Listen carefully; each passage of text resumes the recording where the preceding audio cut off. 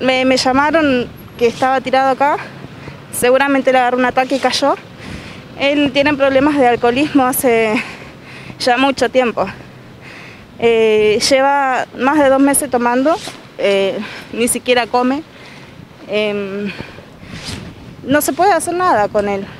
Eh, tratamos de ayudarlo de mil maneras, en el hospital también, y yo vengo pidiendo hace mucho que...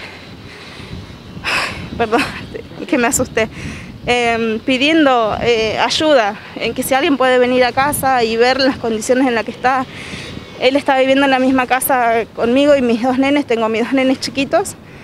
Em, y simplemente estoy pidiendo a alguien que venga, que venga y que vea lo que, las condiciones en las que está él, en las que tengo que vivir con mis hijos y poder internarlo para que se recupere o para que haga rehabilitación, algo y eh, pedí ayuda en el hospital, eh, en el centro de día, hablé con enfermeros, hablé con, gente del centro de día, a ver si alguien podía venir. Se, habló también con la gente de, de la comunitaria.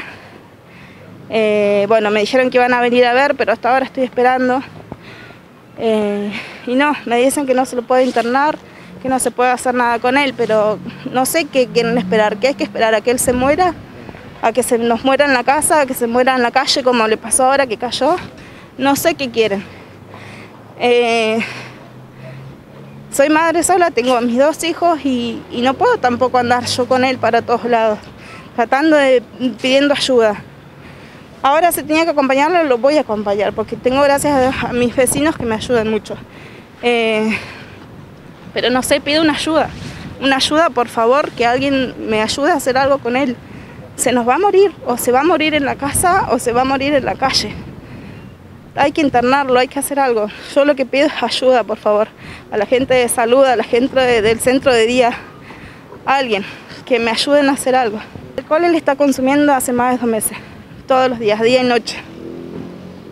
Eh, no come en la casa, eh, últimamente por ahí le hablas mucho, se pone agresivo, entonces eh, mucho no puedo estar con él por mis nenes compartimos la misma casa, vengo pidiendo que alguien vea lo que es, no sé si ustedes pueden ver cómo está la casa, en qué condiciones está, eh, compartimos el mismo baño y o se pueden informar mis hijos.